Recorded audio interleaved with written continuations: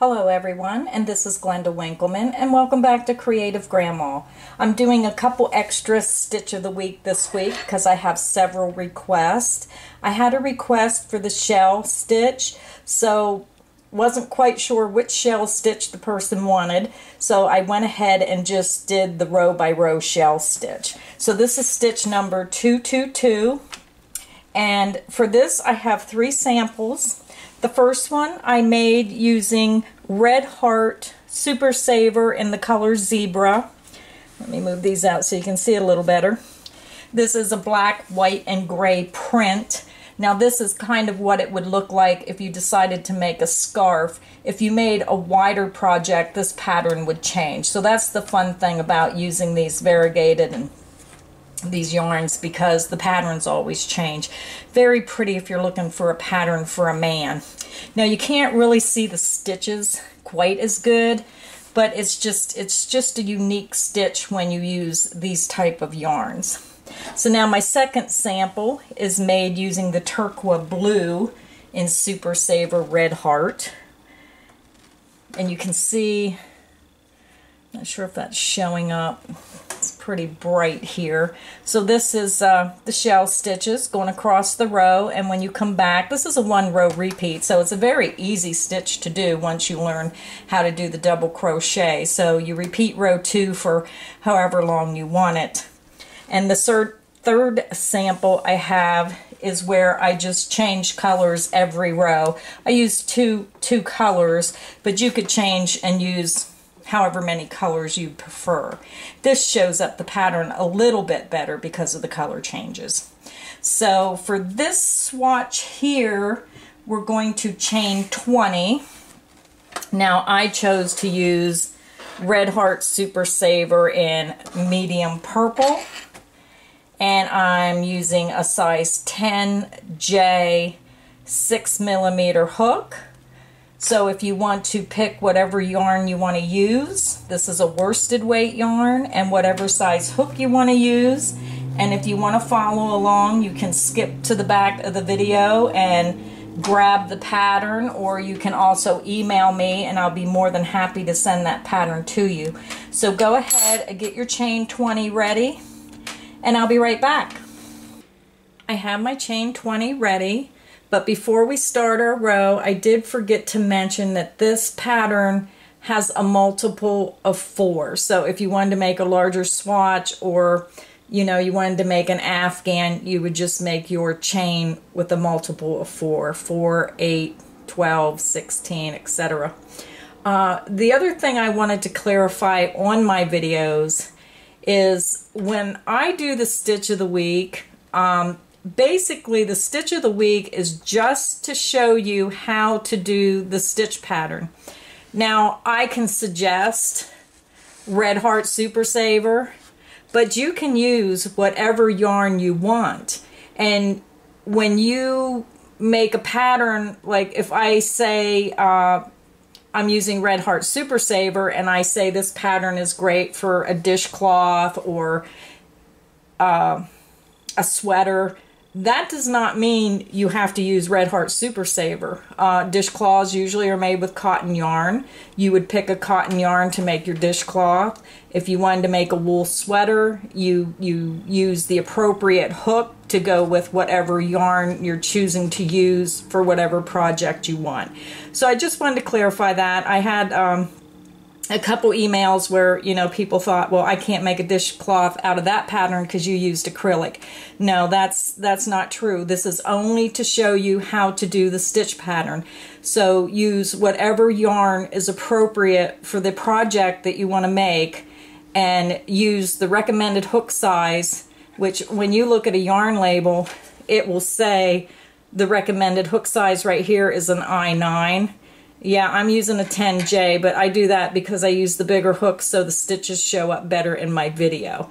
So um, I would probably drop this hook size down if I wanted a more delicate shell stitch pattern. So kind of, you know, you have to be a little creative. I give you the basics, but it's up to you to figure out, you know, what you want to use this stitch pattern for.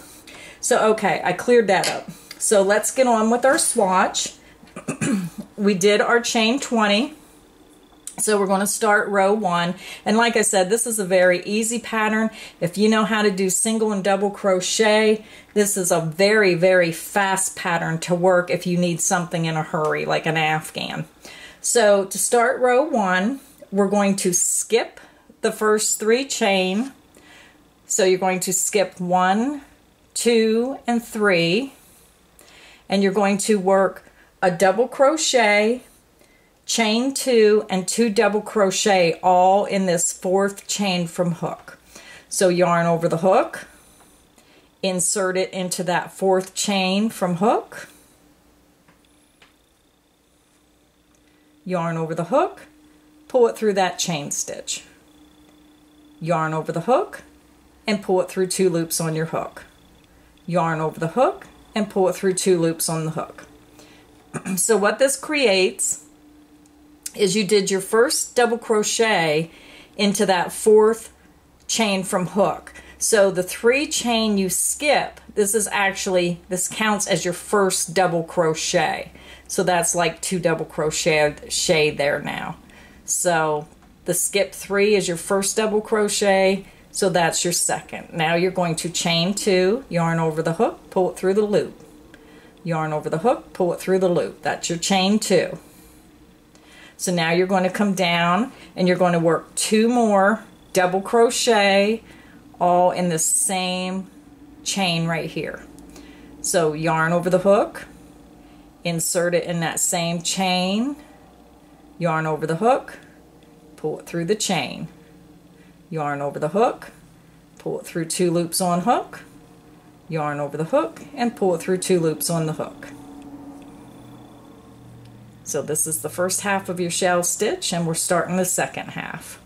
So now you're going to work one more double crochet in the same chain stitch here.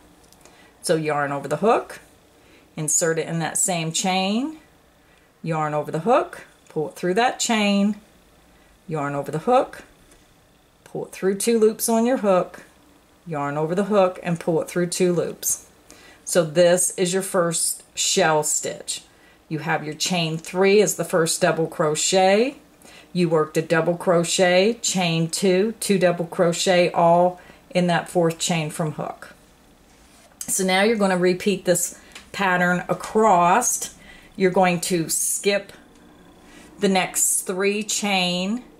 So you're going to skip one, two, three, and you're going to go in this fourth chain here. So one, two, three, and you're going to work two double crochet, chain two, two double crochet, all in this fourth chain.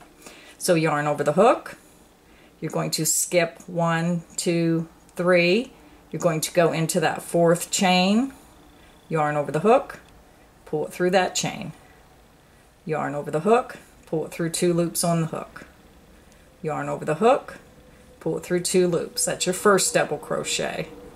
So now we're going to do it again. Yarn over the hook, insert it in that chain, the same chain, yarn over the hook, pull it through that same chain, yarn over the hook, pull it through two loops, yarn over the hook, and pull it through two loops. So there you have your first two double crochet.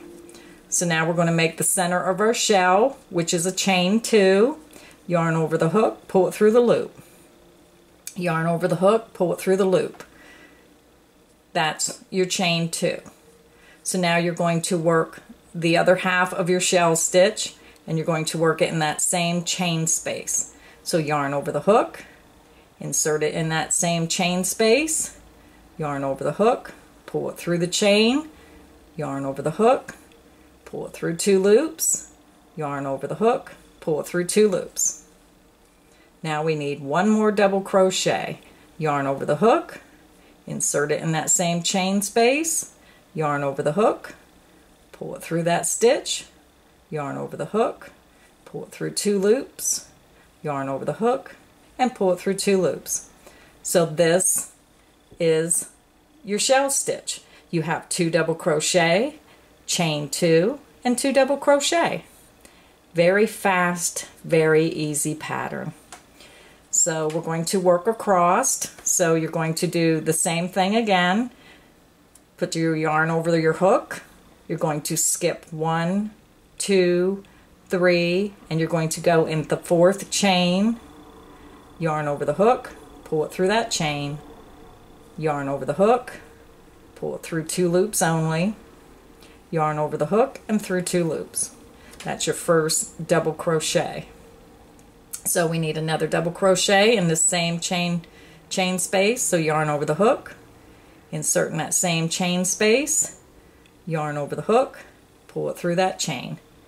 Yarn over the hook, pull it through two loops only. Yarn over the hook, pull it through two loops. So there is your first two double crochet of your next shell. So now we're going to do the chain two. Yarn over the hook, pull it through the loop. Yarn over the hook, pull it through the loop. Now you just made your chain two. So now we need two more double crochet all in that same chain. So you would work it here all in the same chain. Yarn over the hook, insert it in that same chain, yarn over the hook, pull it through that chain. Yarn over the hook, pull it through two loops only, yarn over the hook, and pull it through two loops. So now we need our last double crochet for this shell stitch. So yarn over the hook, insert it in that same chain space, yarn over the hook, pull it through the stitch, yarn over the hook, pull it through two loops only, yarn over the hook, and pull it through two loops. So now, since you know how to do the double crochet, I'm not going to say it step by step, but I'm going to go ahead and work across my row. I'm going to skip three chain, and I'm going to work two double crochet. There's one.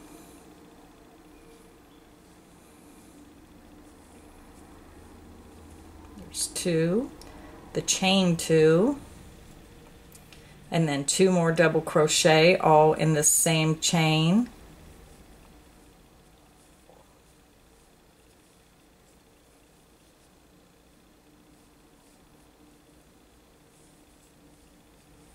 Now we're getting to the end of our work.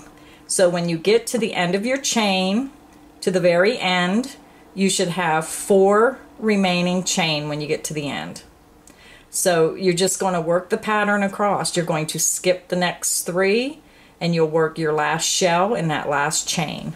So we're going to work two double crochet right in this last chain. So there's one.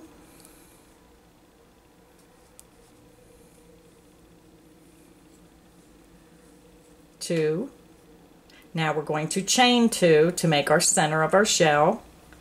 So one, two, and then we're going to work two more double crochet in that last chain for the last half of our shell stitch.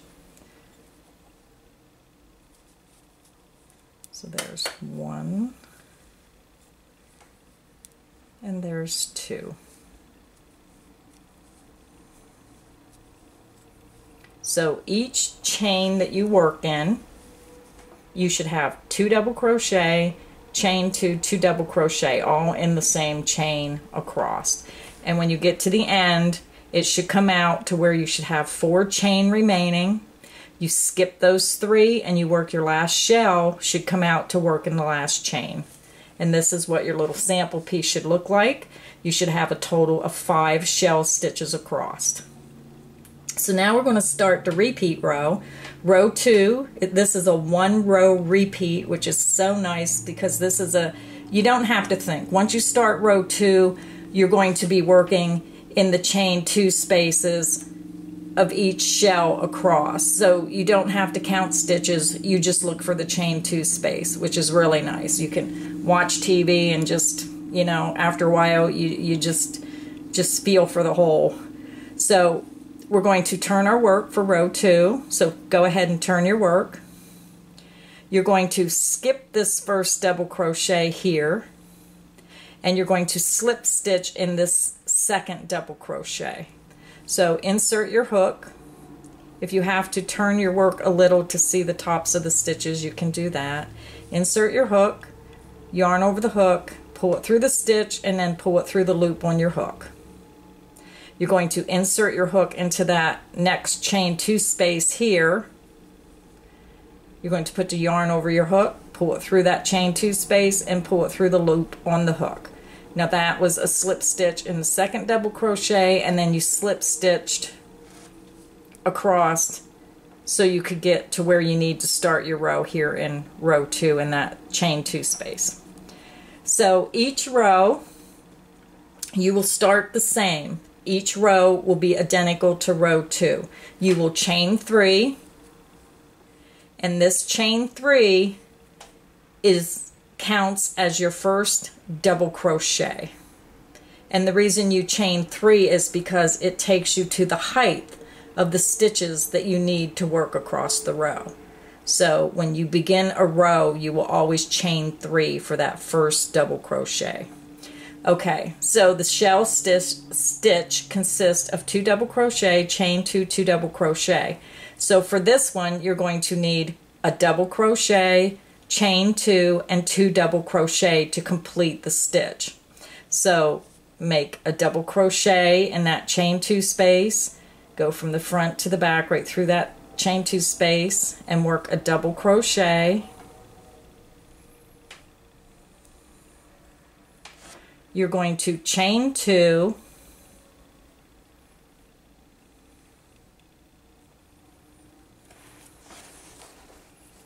oh I got a knot in my yarn I hate that okay now you're going to work two more double crochet in the same chain two space so there's one.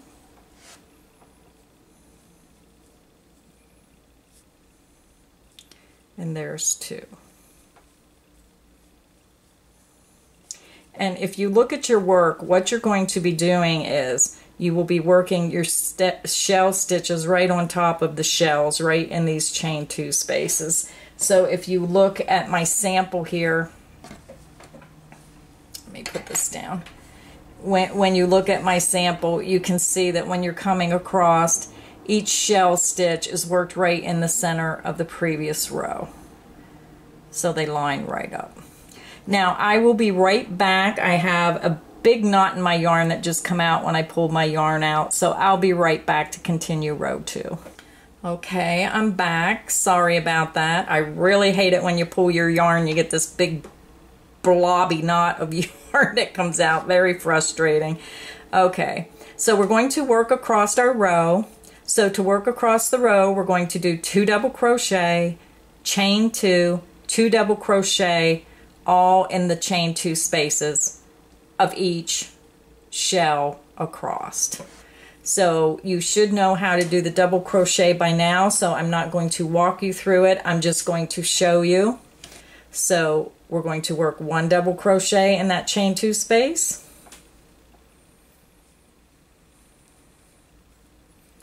We're going to work our second double crochet. We are going to chain two for the center of our shell. And then two more double crochet all in that same chain two space. So there's one. And there's two. And if I'm going too fast with row two when I'm working the stitches, you can just backtrack on row one because it's the same stitch if you need to learn how to do the double crochet a little bit better. So go ahead and then each chain two space across go ahead and work two double crochet, chain two, two double crochet, and I'll be right back at the end of row two and I will show you how to change colors if you want to do more than one color. I'm at the end of row two on my little swatch and you can see you should have five shell and each shell should be right in the center of the previous shell of the previous row. So what I'm going to do now is if you were working a solid color you would turn your work and do as we did before. You would slip stitch across to your chain two space. So if you want to change colors, what I do is I just fasten off.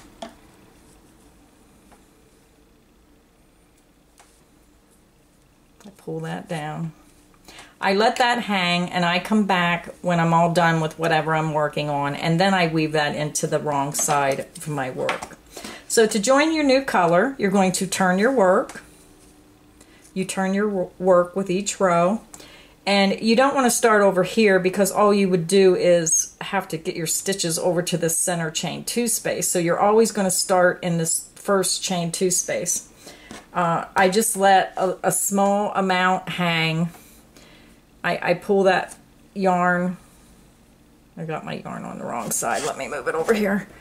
Okay, insert your hook from front to back in that first chain two space and just let a small amount hang. Pull that new color through. Just pull it right through like that and you should have like a a loop. Then you're just going to do your chain three. One two three that's your first double crochet what I usually do is I go ahead and work my stitches right over this little bit here now this is too long to let behind your stitches so what I usually do is I'll work over this end here in the first shell and then I'll let this hang back here and when I'm done I pull it up and weave it through on the on the wrong side of the work. So then I would just complete my first shell. So that would be a double crochet, chain two, and two double crochet. And it, if you can see, I'm working my double crochet stitches. I go through the chain two and I go underneath this this piece of starting yarn and you, you can see it's being weaved in behind those stitches. So there I'm going to work my last double crochet of that first shell. So there's my first shell, which you would chain three, double crochet, chain two, two double crochet. And again, you just worked your stitches over the end. Now, I don't feel that's long enough because I really like mine to be secure. So when I finish this piece or whatever I'm working on, I would take a yarn needle. I would weave this end right up through these stitches and across the top until it was weaved in a lot more than that. And that's how you change your colors. So this is the pattern. This is very simple and then you're just going to work a shell stitch in the chain two space of each shell across. So that's uh, basically a really simple pattern. Again, I'll show you the sample. This is, let me zoom out a little bit. This is what the shell stitch looks like, and this is the row by row shell. I hope you enjoyed this episode of Stitch of the Week. Uh, give me your thoughts. Let me know how you like the stitch. Uh, if you're a beginner, I know I have a lot of beginners in here and I'm trying to do some of the simple patterns, but I also will be starting to do a little more complicated stitches for the more advanced crocheters. Uh, but even the advanced crocheter sometimes just likes to take a break and do something simple. So enjoy. Uh, thanks for stopping by my channel and please like, comment, and subscribe. Happy crocheting, everyone!